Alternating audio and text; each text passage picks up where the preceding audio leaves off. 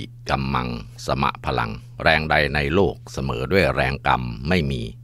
สวัสดีครับท่านผู้ฟังที่เคารพนี่คือรายการเรื่องเล่าชาวบ้าน ผมอาจารย์ยอดรายงานตัวครับ มีจารึกไว้ในประวัติของนักบุญแห่งลานนาไทย หรือว่าครูบาศรีวิชัย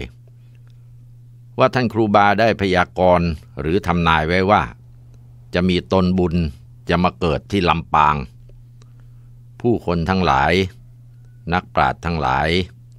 ก็เฝ้าแต่รอคอย รอดูว่าเมื่อไหร่หนอตนบุญจะมาเกิดที่ลำปาง ลุมาถึงพศนี้ชาวลานาไทยต่างก็แน่ใจแล้วโดยไม่มีสิ่งเคลือบแคลงสงสัยว่า ท่านคือหลวงพ่อเกษมเขมโกนั่นเองทว่ากว่าที่ชาวบ้านชาวเมืองจะแน่ใจว่าท่านคือตนบุญที่ครูบาศรีวิชัยทำนายไว้ หลวงพ่อเกษมเขมโก โดนชาวบ้านขนานนามว่าพระบ้ามาก่อนหลายปี หลวงพ่อเกษมท่านกำเนิดในสกุลเจ้าฝ่ายเหนือ ในสกุลณลำปาง มีเจ้าน้อยหนูมณีอรุณเป็นบิดา เจ้าแม่บัวจ้อนณลำปางเป็นมารดา ท่านเกิดวันพุธที่ 28 พฤศจิกายน พุทธศักราช 2455 ตรงกับเดือนยี่เหนือปีชวด ท่านถือกำเนิดที่บ้านท่าก้าวม่วง ริมแม่น้ำวังจังหวัดลำปาง มีพี่น้องท้องเดียวกันสองคนเป็นชายหนึ่งหญิงหนึ่ง หลวงพ่อเกษมเป็นบุตรคนแรก ส่วนน้องสาวของท่านเสียชีวิตตั้งแต่ยังเล็ก บิดาของท่านรับราชการเป็นประหลัดอำเภอ สายตระกูลทั้งบิดาและมารดาเป็นหลานของเจ้าบุญยวาดวงมานิตผู้เจ้าผู้ครองนครลำปางองค์สุดท้าย รูปร่างลักษณะนิสัยของท่านบันทึกจากผู้รู้ชาวลำปางบันทึกไว้ว่า หลวงพ่อเป็นคนร่างเล็ก ผิวขาวว่องไว แข็งแรงสติปัญญาดีมาแต่กำเนิดฉลาดแล้วก็ซุกซน ไม่ยอมทำในสิ่งที่ผิด การศึกษาสามัญหลวงพ่อศึกษาภาษาไทยจากโรงเรียน บุญทวงอนุกูล จบชั้นประโยคประถมปีที่5สมัยนั้นที่โรงเรียนบุญทวงซึ่งเป็นโรงเรียนประจำอำเภอเมืองจังหวัดลำปาง อายุได้ 13 ปี คือเมื่อพศ 2468 ท่านได้บวชหน้าศพ หรือบวชหน้าไฟ ให้เจ้าอาวาสวัดป่าตัว ต่อมาได้บวชอีกครั้งในงานฉลองโรงไฟฟ้าจังหวัดลำปาง พศ 2470 ตอนนั้นท่านอายุ 15 ปีขณะบวชเป็นสามเณรได้จำพรรษาอยู่วัดบุญยืน ถนนหน้าคุ้มอำเภอเมืองจังหวัดลำปาง ครั้นหลวงพ่ออายุได้ 21 ปีก็อุปสมบทเป็นพระภิกษุเมื่อพศ 2475 โดยมีท่านเจ้าคุณธรรมจินดานายก เจ้าคณะจังหวัดลำปางในสมัยนั้นเป็นพระอุปชา มีพระครูอุตรวงธาดาวัดหมื่นกาดเป็นพระกรรมวาจาจารย์ แล้วก็ได้ฉายาจากพระอุปชาว่า เขมโก ภายหลังเมื่ออุปสมบทแล้วศึกษาเล่าเรียนภาษาบาลีจาก สำนักวัดศรีล้อม ซึ่งมีพระมหาคำตาและพระมหามงคลบุญเฉลิม และเรียนในสำนักวัดบุญยวาสวิหาร มีมหามั่วพรมวงแล้วก็มหาโกวิทโกวิทยาโนเป็นครูผู้สอน และศึกษาพระธรรมวินัยจากวัดเชตวัน เช่นเด็กในเวลาเดียวกัน หลวงพ่อศึกษานักธรรมจากสำนักวัดเชียงราย โดยมีท่านเจ้าคุณพระเทพวิสุทธิโสพลเจ้าคณะจังหวัดลำปางสมัยนั้นเป็นครูอาจารย์ผู้สอน และท่านสอบนักธรรมเอกได้เมื่อปี 2482 หลวงพ่อเจริญกรรมฐานในป่าช้าซึ่งตั้งอยู่ไม่ห่างไกลจากวัดบุญยืน คือป่าช้าสาราวังทาน วาระแรกของการเจริญกรรมฐานในป่าช้า ซึ่งก่อนหน้าจะออกไปอยู่ป่าช้าหลวงพ่อได้เป็นเจ้าวาสอยู่ที่วัดบุญยืนหกปี และได้ลาออกจากตำแหน่งเจ้าอาวาส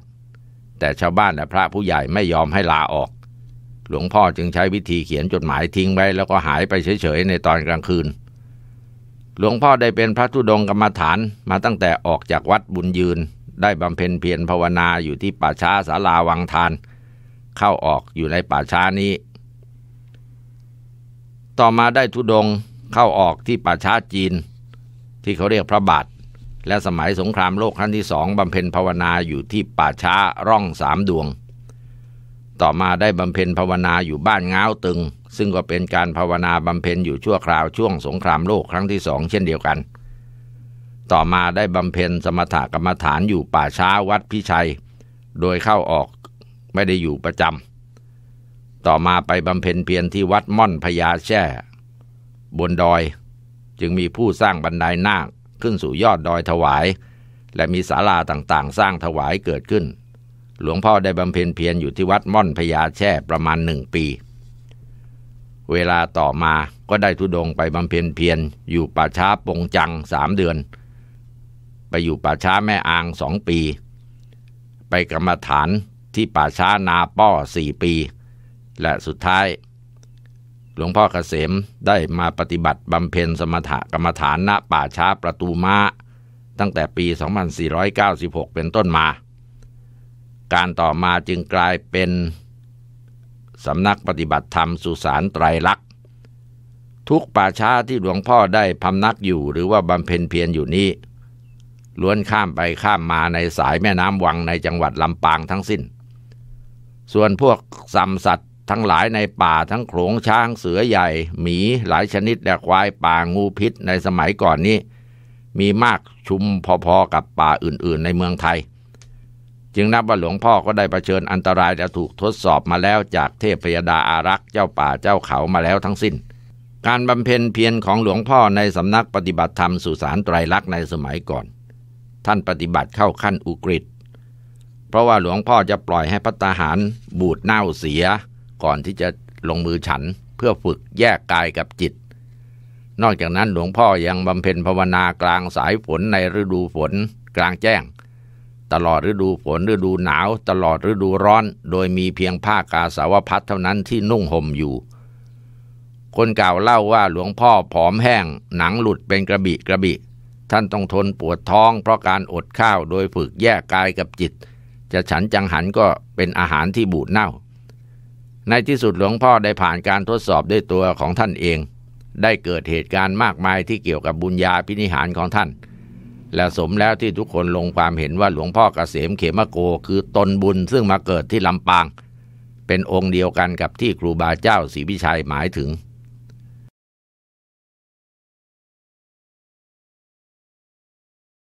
การต่อมาได้มีคณะสิทธิ์และหน่วยราชการต่างๆ ขออนุญาตหลวงพ่อสร้างวัตถุมงคลของหลวงพ่อขึ้น เพื่อให้จำหน่ายบูชาและนำเงินไปช่วยสาธารณกุศลต่างๆ อาทิเช่นช่วยนักเรียนที่ขาดแคลน แจกผ้าห่มกันหนาวในท้องถิ่นธุรกันดารในภาคเหนือ โดยเฉพาะจังหวัดลำปาง สร้างฝายกั้นน้ำ สร้างอุโบสถ สร้างศาลา สร้างโรงเรียน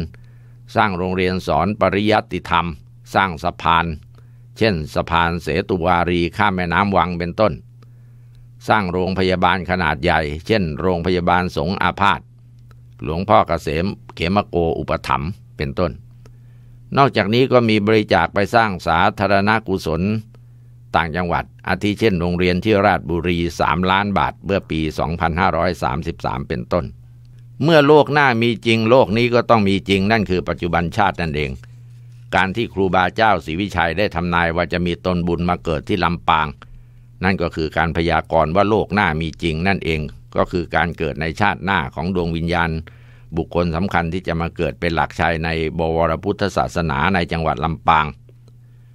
สำหรับหลวงพ่อเกษมเขมโกมีอยู่ครั้งหนึ่งที่กล่าวถึงเรื่องนี้ คือได้มีชาวบ้านที่เคยมานมัสการได้ตายไปนานหลายเดือน เป็นปีโดยประมาณ ต่อมาก็มีชาวบ้านคนหนึ่งได้มานมัสการหลวงพ่อ แล้วก็ให้ลูกชนีตัวหนึ่งเกาะคอมาด้วย เมื่อเขากลับไปแล้ว หลวงพ่อได้กล่าวกับสิทธิ์ใกล้ชิดว่า นายคนที่ว่านั้นได้เกิดเป็นชดีมาหาเรา มีเรื่องดีอยู่เรื่องหนึ่งเป็นเรื่องส่งเสริมกิตติคุณ ข้อวัดปฏิบัติของหลวงพ่อ อาจารย์ไพศาลแสนชัยเคยกล่าวว่าครั้งหนึ่งในนิมิตท่านอาจารย์ไพศาลแสนชัยนำโดยพญาพิงคราชได้อยู่ณที่ประชุมเบื้องบนพรหมโลก และที่ประชุมของเทพชั้นสูงกล่าวกันว่า ที่เมืองลำปางหลวงพ่อเกษมเขมโกจะบรรลุซึ่งความเป็นพระอรหันต์เรื่องของอภินิหารบุญญาฤทธิ์ของหลวงพ่อเล็กๆน้อยๆมีคนหนึ่งเป็นน้องชายของคุณสมชาย ชื่อฤทธิ์เป็นคนมีฤทธิ์มากชอบลองของอยู่เสมอตั้งแต่เด็กมาแล้ว บ้านอยู่กำแพงเพชรมีภาพหลวงพ่อเกษมอยู่หลายภาพ อยู่ๆในฤทธิ์ได้กล่าวขึ้นว่า ถ้าหลวงพ่อเกษมแน่จริงให้ผมถูกหวยโดยผมไม่ต้องเล่น เขาพูดตะโกนเสียงดัง อ่า ใครได้ยินก็แทบช็อก กลัวในคนนี้จะถูกเทวดาลงโทษ แต่ว่าหลวงพ่อนั้นท่านเมตตามากคงจะไม่เป็นอะไรสำหรับในใจคนที่เล่าเรื่องนี้ให้ฟังก็คิดว่าถ้าน้องชายไม่ถูกหวย เพราะไม่ได้เล่นผู้คนทั้งโลกเขาก็จะเห็นใจหลวงพ่อว่าอยู่ถึงลำปางไอ้คนตะโกนมันอยู่จังหวัดกำแพงเพชรไม่ได้ยินไม่รู้ไม่เห็นก็ จะไม่มีใครว่าหลวงพ่อแต่ประการใด แต่ว่าเรื่องมันไม่เป็นอย่างนั้นปรากฏว่างวดนั้นน้องชาย ถูกหวยทั้งๆทที่ไม่ได้เล่นแม่กล่าวคือเขาเดินไปตามถนนเก็บลอตเตอรี่ได้หนึ่งคู่ก็เก็บเอาไว้ ผลการออกรางวัลสลากกินแบ่งรัฐบาลเขาถูกสามตัวล่างได้เงินมาจำนวนหนึ่งนายฤทธิ์รีบนำเงินหนึ่งร้อยบาทที่ได้จากการถูกสามตัวล่างรัฐบาล ไปลำปางขอเข้าพบหลวงพ่อทันทีพลางถวายเงินหนึ่งร้อยบาททำบุญกับหลวงพ่อ หลวงพ่อก็นำเงินหรือแบงค์ร้อยนั้นไปเป่าๆแล้วก็ส่งเงินให้นายฤทธิ์แล้วกล่าวบอกว่าให้เป็นขวัญถุงนายฤทธิ์เมื่อได้กราบลามาแล้วก็นำเงินนั้นไปเล่นหวยกินรวบงวดที่จะถึงต่อไปทันที โดยเล่นร้อยบาทนั่นแหละ แล้วก็เอาเบอร์เลขท้ายแบงค์ร้อยที่หลวงพ่อคืนมานั้นเอาไปเล่น คือเลขหนึ่งสี่เจ็ดนี่หลายปีมาแล้วนะ เมื่อผลการออกสลากออกมา เลขโชคสามตัวบนก็คือหนึ่งสี่เจ็ดตรงเพงนายฤทธิ์ได้นำเงินส่วนหนึ่งมาก พอดูนำไปถวายวัดแห่งหนึ่งแล้วก็นับตอนนั้นมานายฤทธิ์ไม่ได้ทดลองหลวงพ่ออีกเลยสำหรับผู้ที่ใกล้ชิดหลวงพ่อแล้วย่อมทราบดีว่า ถ้าหลวงพ่อถูกร้องขอให้เป่าหรือว่าเป่าศีรษะอ่าท่านเป่าให้นะวิเศษนัก แต่ถ้าหากว่าหลวงพ่อเรียกเข้าไปเป่าเอง นั่นหมายถึงว่าจะมีอะไรเกิดขึ้นแล้วให้ระวัง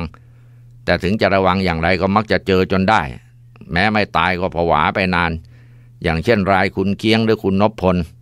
ถูกหลวงพ่อเรียกเข้าไปแล้วเป่าหัวให้ คุณเคียงใจไม่ดีเลย แม้จะรู้ว่าหลวงพ่อท่านเป่าให้ แล้วต้องไม่ตาย แต่ว่ามันจะเจ็บตัวนี่สิ มันจะกลายเป็นเรื่องหวาดเสียวเป็นอย่างมาก ต่อมาคุณเคียงได้กลับมากรุงเทพระหว่างขับมอเตอร์ไซค์มาถึงบริเวณอนุสาวรีย์ชัยสมรภูมิ เกิดอุบัติเหตุรถมอเตอร์ไซค์คุณเคียงปะทะเข้ากับรถบรรทุก รถมอเตอร์ไซค์พังยับร่างคุณเคียงกระเด็นไปฟุบอยู่ใต้ท้องรถคันหนึ่งสลบไปชั่วครู่เสื้อกางเกงขาดมีรอยถลอกทั่วตัว มีผู้นำร่างคุณเคียงไปส่งโรงพยาบาล ต่อมาเมื่อแพทย์ตรวจดูแล้วกลับไม่มีอะไรชำรุดเลย อยู่โรงพยาบาลสองสามวันก็กลับบ้านได้ ต่อมาคุณเคียงได้เข้าไปนมัสการหลวงพ่อในกุฏิเห็นมีผู้ถวายไข่ต้มหลวงพ่อเก้าใบ แล้วก็เกิดเหตุการณ์อย่างไรไม่ทราบ คุณเคียงก็เสี่ยงโชค 904 มีโชคอ่าไปประมาณแสนห้าหมื่นบาท นั่นแหละ วาจาสุภาษิตของหลวงพ่อที่ท่านได้ให้ไว้แล้วใคร ๆ ก็จดจำได้ก็คือ การเห็นเป็นเหตุแห่งการคิด การคิดเป็นเหตุแห่งการเห็น ถ้าคิดดีก็เป็นทางเย็น หากคิดไม่เป็นก็เย็นสบายครับ นั่นคือเรื่องของหลวงปู่เกษมเขมโกวัสุสานไตรลักษณ์จังหวัดลำปางครับ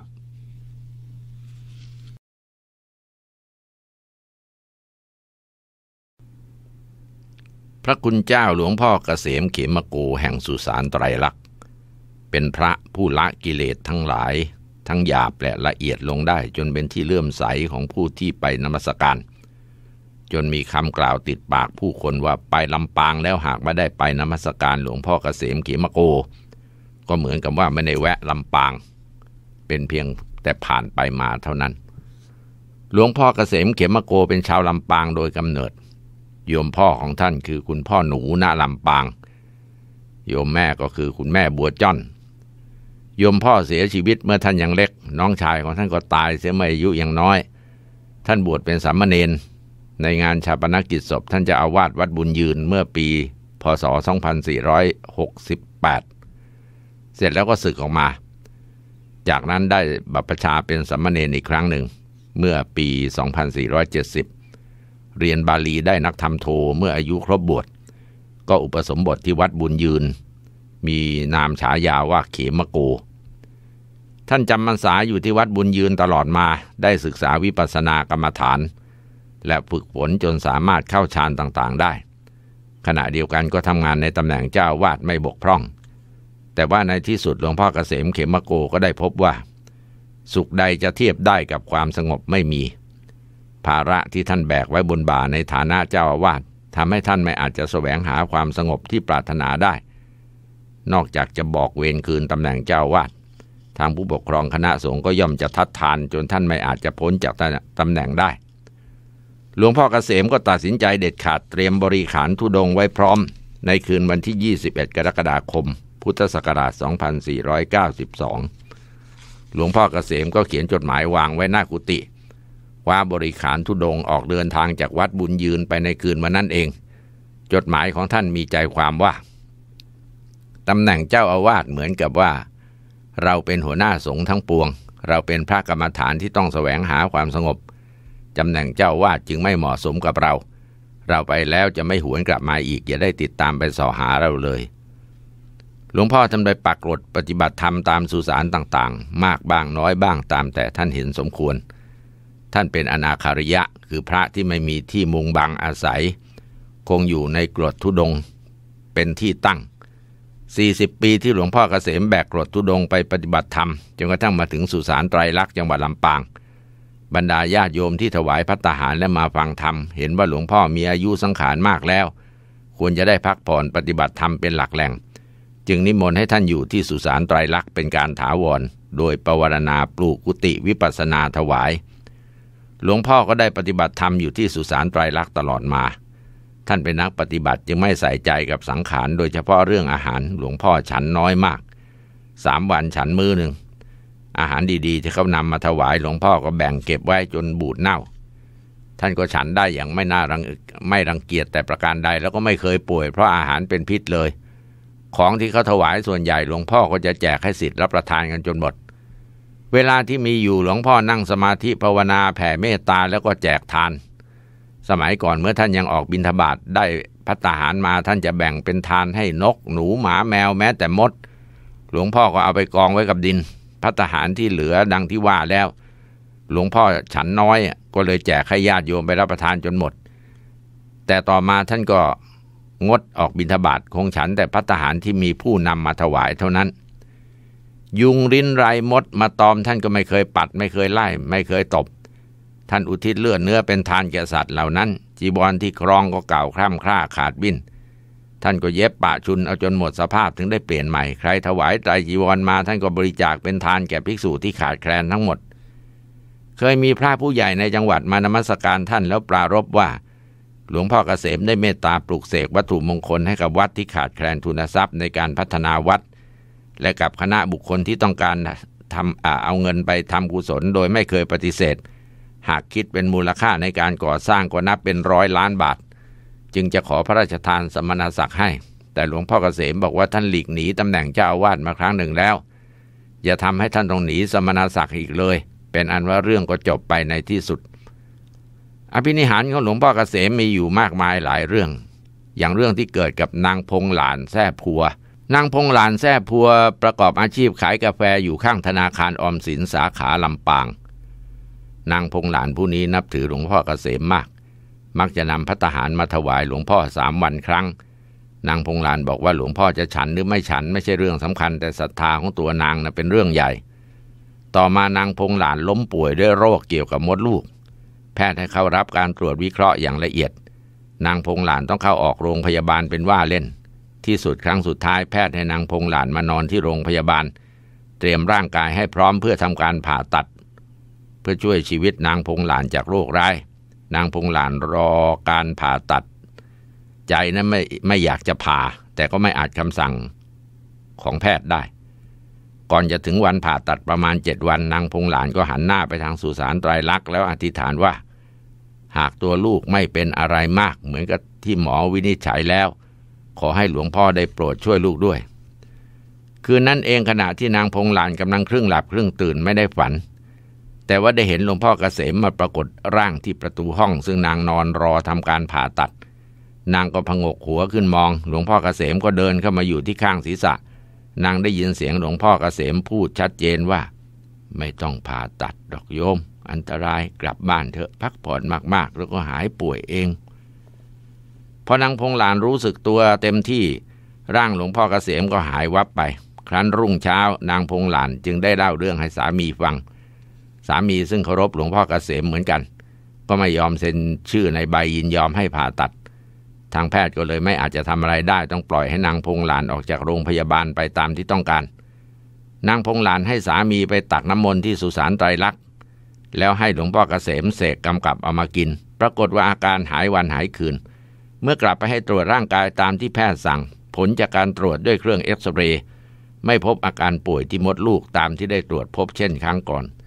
เมื่อเอาฟิล์มเดิมกับฟิล์มใหม่มาเปรียบเทียบกันก็เห็นปาฏิหาริย์ที่เกิดขึ้น นางพงลานบอกว่าหากหลวงพ่อเกษมไม่มาปรากฏร่างให้เห็นและบอกว่าไม่เป็นอะไร ตนก็คงต้องเข้าห้องผ่าตัด และการผ่าตัดนั้นอาจจะทำให้เกิดอันตราย แก่นางการที่หลวงพ่อเกษมมาปรากฏร่างให้เห็นเพราะนางหันหน้าไปทางสุสานไตรลักษณ์